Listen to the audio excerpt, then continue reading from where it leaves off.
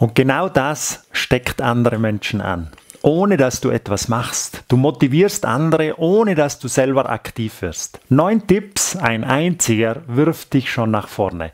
So kannst du dich selber und andere ganz leicht motivieren. Ist dir schon mal aufgefallen, wenn du gut drauf bist, wenn du lachen kannst, wenn du fröhlich bist, wenn du Freude hast? Dann begegnest oder siehst du meistens Menschen, die ebenfalls Freude haben, die lachen, die gut drauf sind. Gesetz der Resonanz. Wir sehen und erleben im Außen genau die Dinge, die wir in uns selber mit uns herumtragen. Eben wenn wir gut gelaunt sind, sehen wir im Außen genau das. Wenn wir schlecht drauf sind, sehen wir genau das. Gerade jetzt, du siehst es überall. Sehr vielen Menschen geht jetzt das Licht aus. Sie haben so, ja, keine Perspektive, keinen Fokus, sehen rundum, wie es läuft, was alles passiert. Und wenn du jetzt in Freude sein kannst, wenn du jetzt motiviert sein kannst von innen her, dann bist du genau der, der eben jetzt noch viel mehr strahlt. Andere werden dich fragen, hey, was nimmst du in der Früh? Was machst du? Gib mir das auch. Und genau das wirkt jetzt doppelt und dreifach. Darum neun Tipps für dich, wie du jetzt in deine Kraft kommen kannst, wie du jetzt von innen her motiviert sein kannst. Und andere Menschen nimmst du ganz automatisch mit, weil dein Leuchten jetzt doppelt wiegt oder zehnfach wiegt, würde ich sagen. Und jetzt neun Tipps für dich. Bist du bereit? Erster Tipp. Achte auf deine Nahrung. Schau dir an, wenn du gegessen hast, wenn du Mittag oder Abend gegessen hast, wirst du dann sehr müde oder bist du danach vital und gestärkt. Zweiter Tipp. Achte auf deine geistige Nahrung. Schau dir ganz genau an, wohin geht jetzt aktuell deine Aufmerksamkeit. Rundum könnte man sagen, brennt jetzt die Hütte. Es geht rund. Und jetzt kann man sagen, dass zu viele Informationen toxisch wirken.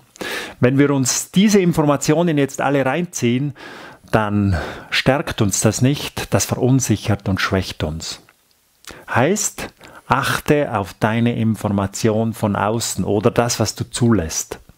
Schau dir die Dinge an, aber in einem Maß, das dir nicht schadet. Dritter Tipp, achte auf dein Stresspensum. Das Stresspensum oder der Stress überhaupt ist eine der Hauptquellen für Krankheiten. Vierter Tipp. Bewegung. Raus aus der Hütte. Beweg dich, geh in die frische Luft. Fünfter Tipp. Achte auf Sonnenlicht, also nicht achte darauf, sondern konsumiere Sonnenlicht. Geh raus in die Sonne, ins natürliche Licht. Das lädt einem auf mit Energie und Power. Tipp Nummer 6. Ruhe und Auszeit.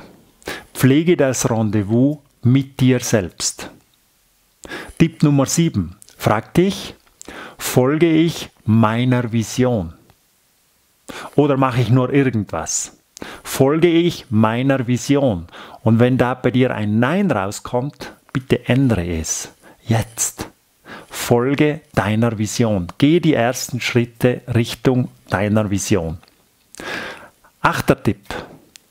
Frag dich, ist mein Fokus jetzt auf meinem Universum oder geht jetzt mein Fokus in alle Richtungen? Verteile ich meinen Fokus in alle Richtungen. Das geht sich jetzt nicht mehr aus. Fokus ganz klar auf dein Universum, ganz wichtig. Und Tipp Nummer 9, und jemand hat vor kurzem einen Kommentar auf YouTube geschrieben, er schreibt, seitdem ich dankbar bin, hat sich mein Leben komplett verändert. Zum Positiven.